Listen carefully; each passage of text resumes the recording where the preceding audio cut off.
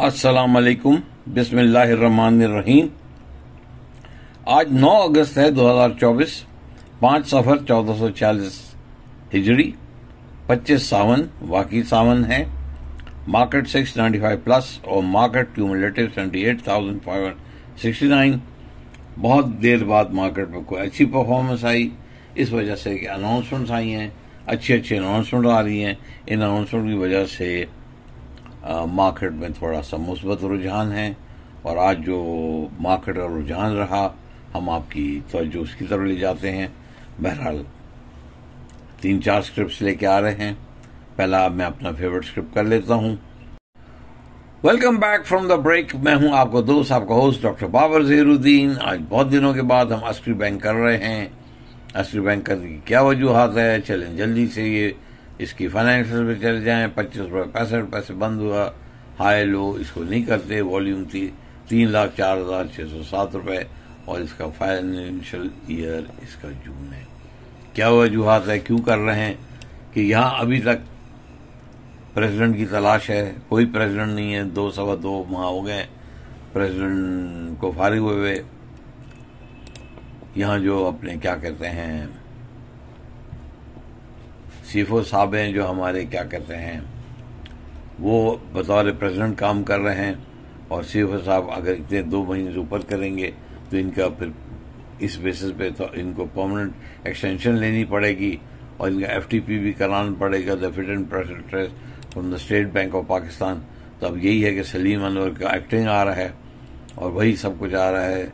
और माशाल्लाह बहुत ही होनहार यहाँ के कंपनी सेक्रेटरी हैं, सैयद अली सऊदा नकवी। इनकी मैं जितनी तारीफ़ करूँ कम है। तो अभी तक कोई प्रेसिडेंट लाइमलाइट में नहीं आ रहा, मगर जो मुझे नाकस फहम तकरीन और वही जो मेरी चिड़िया ने मुझे खबर दी है कि अब जो रेस है वो बहुत ही कम लोगों के दरमियान महदूद हो गई है। वो क्या महदूद है? एक तो लगता है कि एक हमारे मेमन भाई हैं, वो आना चाह रहे हैं। और दूसरा मेरे लगता है कि हमारे एक और भाई हैं जो डेली हसनाबाद वाले हैं, वो भी बहुत स्ट्रांग है। और इन मैं यही चाहता हूँ कि कोई इंटरनल सक्सेशन प्लानिंग से बंदा है उसकी वजूहत मैं बताता हूँ। इससे पहले आप असली बैंक में बहुत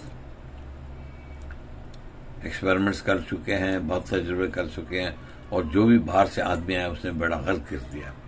और जब भी आप लेके आए असली बैंक में, चले हुए कारतूस लेके आए हैं क्योंकि ठुस हो जाते हैं तो अभी एक आपके पास अच्छे लोग मौजूद हैं, बैंक के अंदर मौजूद हैं। आप इन्हें, इन लोगों को पहले से नफी में मत रखें, इनको काम करने का मौका दें।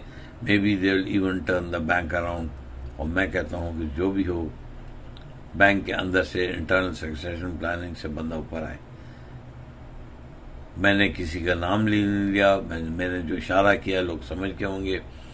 उम्मीद है मेरे इशारों की वजह से सबको जो इतनी सवालिया निशान है, उनके सवालिया निशान खत्म हो गए होंगे।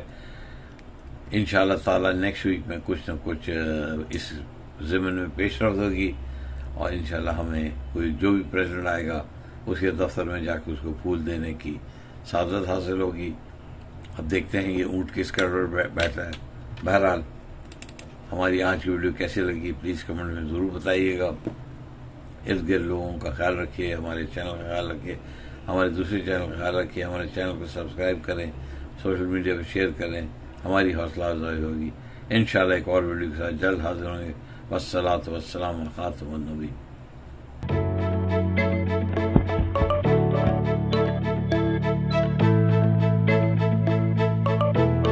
शहर कराची के बीचों बीच नॉर्थ नाजमाबाद सखी हसन से बजरिया फ्लाईओवर, आसान तरीन रसाई।